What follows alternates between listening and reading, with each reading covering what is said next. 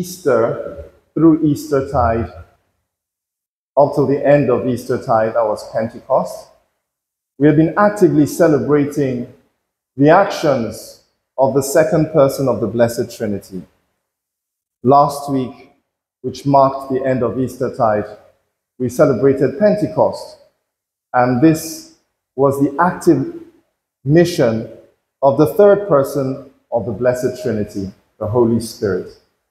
So it seems befitting that immediately after that, we are celebrating the solemnity of the Blessed Trinity. To help us understand that the actions of the second person and the third persons of the Blessed Trinity coincide also with the action of God the Father. We celebrate three distinct persons in one substance, in one Godhead. So, celebrating today's solemnity, our minds are drawn to reflect on a most sacred mystery, the nature of God. Puny mortals that we are, we cannot dare to comprehend so great a mystery. It should frighten us. Whenever we dare to speak of God, we dare to speak of that being than which nothing greater can be thought of, the highest or greatest conceivable being. To even reflect on this ontological definition by Anselm still limits God to what the human mind can possibly conceive. Yet God is greater. Paul in 1 Corinthians 2, verse 9, contemplating on the nature of eternal life, exclaimed, What no eye has seen, no ear heard, or mind conceived is what God has prepared for those who love him. If this is so, then the being capable of granting these inconceivable wonders must itself be inconceivably inconceivable by human standards. The saintly minds and the great intellectuals such as Anselm, Augustine, and Aquinas have attempted to exhaust the mystery of the triune God, and they fell woefully short. It is always nice on a day like this to recall that famous story of Augustine, because in that story we see how God kindly tells us how much above us he is. Augustine was in the middle of what is known today as one of his most definitive contributions to Catholic theology. He was writing De Trinitate, that is his reflections on the Trinity. And like any normal mortal he was faced with frustration, he couldn't continue the work. And it was in the midst of taking a break, he decided to take a walk on the lakeside to reflect on the immensity of the sea, to ponder more on this mystery. It was in this break, this frustration, that he found this little child trying to empty the sea with a little bowl into a hole that he had dug in the ground. And he could see the frustration and scowl on the child's face as he labored.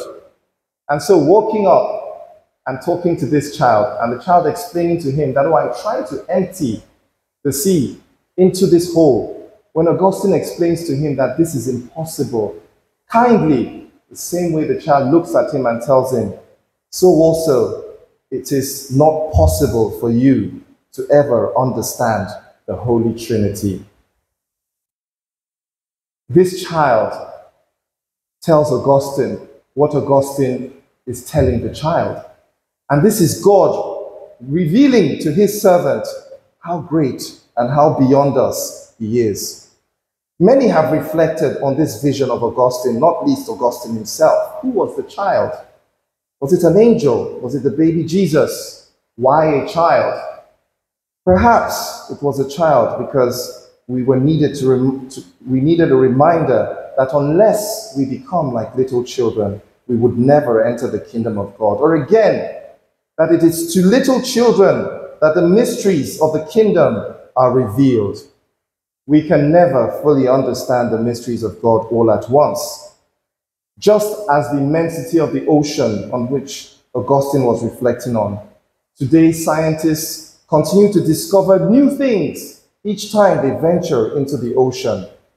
This means that, like little children, we must keep our minds open to God who reveals himself little by little.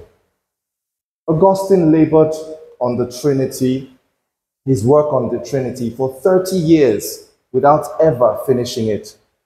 But maybe that itself is instructive. Because how could he ever finish what had no end? What has no end? The triune God is eternal, ineffable. Yes, he is wider than the oceans we sing. He is deeper than the depths, yet he dwells within our hearts. There is none like him. In writing the Trinity, Augustine would finally understand that if we ever fully knew or understood God, then he is no longer God. We are to embrace this mystery through faith and reason. Hear his words. It is difficult, he says, to contemplate and fully know the substance of God, who fashions things changeable, yet without any change in himself, and creates things temporal, yet without temporal movement in himself. And it is necessary, therefore, to purge our minds in order to be able to see ineffably that which is ineffable. Whereto not having yet attained, we are to be nourished by faith and led by such ways as are more suited to our capacity, that we may be rendered apt and able to comprehend it. Let us ponder a little on Thomas Aquinas. He was nicknamed the dumb big ox of Sicily because as a child he was a slow thinker. But with the unrelenting childlike disposition to know and serve God, he quickly blossomed into one of the greatest thinkers of his age. His seminal work, the Summa Theologiae, which I know all of us here are familiar with, touches on almost every aspect of Catholic thought and speech about God. This work, too, towering as it may be, also remained unfinished. On December 6, 1273, while celebrating the Eucharist, Aquinas was given a glimpse of heaven. This experience changed him forever. He realized that all his works, written from the highest physical sense and the most intense illumination, fell so far short of what he saw. He never wrote again. And when encouraged by his secretary to at least finish his Summa, he famously replied, I can do no more. The end of my labors has come. Such things have been revealed to me that all I have written seems to me as so much straw. Now I await the end of my life after that of my works. He would die three short months later, aged 48. The irony. The dumb ox of Sicily, one of the most brilliant men of his age, an erudite scholar and doctor of the church, reverts to calling himself a dumb ox by referring to his works as straw. Such, my dear friends, is the eminence of God before the wisdom of men.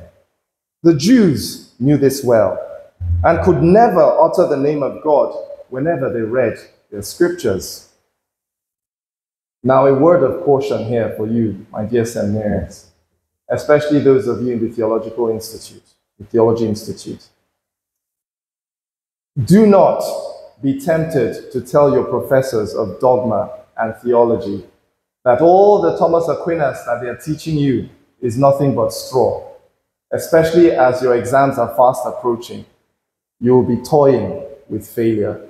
It will not all go well for you. Just remember you are not Thomas Aquinas. The understanding of God as a Trinity is what sets Christianity apart from other monotheistic religions. That God is one in three distinct persons, and that there are three distinct persons in one God. That the persons of the Blessed Trinity, though distinct, share in one substance, in a single Godhead. Of course, there are things in nature that we may allude to to help our understanding of the possibility of such an existence. We talk about the relationship between water, ice, and vapor, or fire, light, and warmth.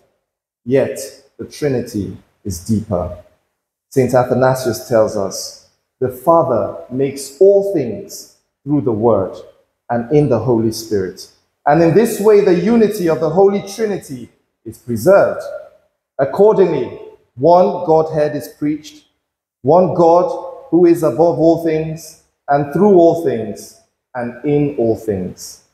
Think of God the Father as God for us, God the Son as God with us, and God the Holy Spirit as God within us. This teaching of God as Trinity is replete in, in scriptures and reinforced in our liturgy. Accordingly, we began this Mass by invoking the Holy Trinity. The opening greeting was done in the name of the Trinity, and the final blessing will be imparted in the name of the Trinity. In our first reading today, God the Father is presented to us as the Creator who spoke to the people from the heart of a fire. Moses here, of course, was referring to the Exodus experience when the people gathered at the foot of a mountain, Mount Sinai, and God descended on the mountain in fire. This scene terrified the people so much that they promised Moses total obedience, but they were not consumed. This is also reminiscent of Moses' call when God spoke to him again in a burning bush that, was not, that wasn't consumed by the fire.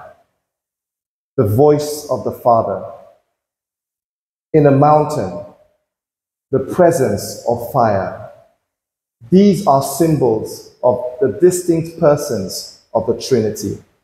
The voice of the Father would be heard again at the baptism of Jesus and at his transfiguration. This first reading concludes with a reminder of how God rescued his people from slavery and how he restored them into a new land. All of this prefiguring the action of the second person of the Blessed Trinity, who would come to actuate this in his suffering and death for the salvation of the world. So God the Father sends the Son, who taking flesh in the mystery of incarnation becomes like us in all things but sin. He rescues us from sin by means of his suffering and death, and in turn gives us the Holy Spirit, which St. Paul in the second reading tells us is what enables us to call God our Father. It is by virtue of this Spirit we are able to become heirs of God and co heirs with Christ. Thus, we witness the working of God the Father, God the Son, and God the Holy Spirit in perfect communion, in perfect harmony for our salvation. The power of the Holy Spirit is to teach us and enlighten us about God. Hence, last Sunday we celebrated Pentecost, the outpouring of the Holy Spirit on the apostles and the birth of the church. We recounted how the apostles spoke in tongues and different peoples heard them in their own languages.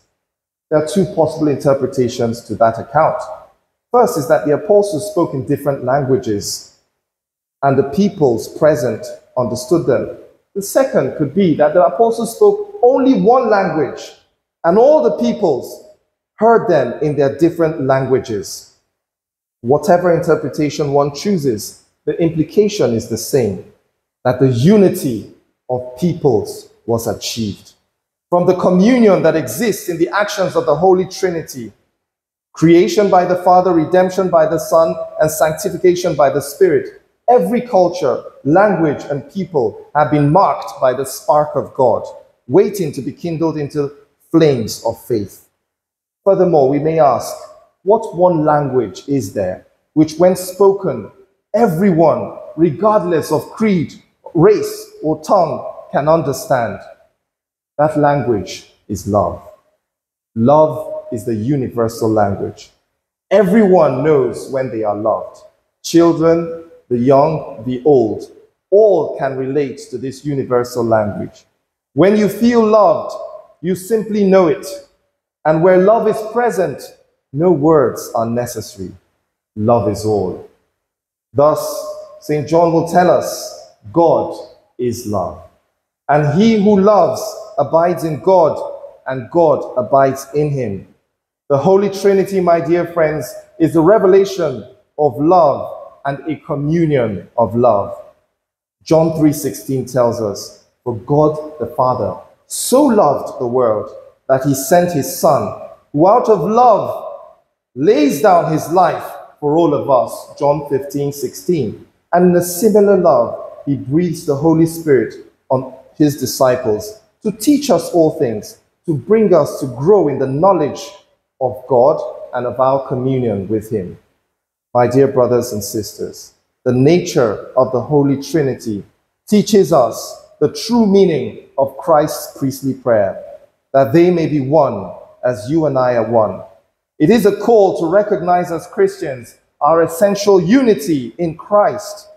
The more we know God, the more loving we would be. For no one can love God who does not love his fellow man. I end with a documentary I watched, and this documentary was just a little questionnaire survey that was being made amongst the elderly, people who are in their 80s, in their 90s, and above. And the question always was what advice would you give your younger self if you could? And the common denominator in all the advice or pieces of advice that it left was to have a good and loving relationship. They each said to love more, that that was what was most important, not money, not wealth. This is the advice they would give to their younger selves, people in their 80s and 90s. The Blessed Trinity, a communion, a relationship of love, is teaching us that if you want to live long and a healthy life, you must immerse yourself also in a relationship of love. A 1938 Harvard research also reveals the same thing. From participants all over the world who were followed and interviewed across the years, who lived so long, always revealed that a positive, loving relationship was what led them to have a happier, healthier, and longer life.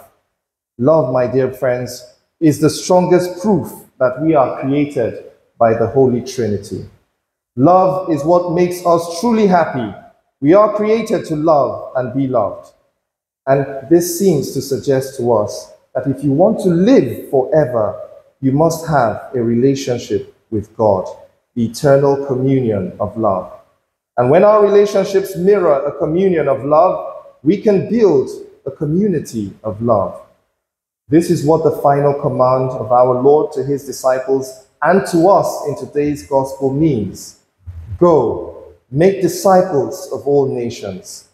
Go, build communities of love in the name of the Father and of the Son and of the Holy Spirit.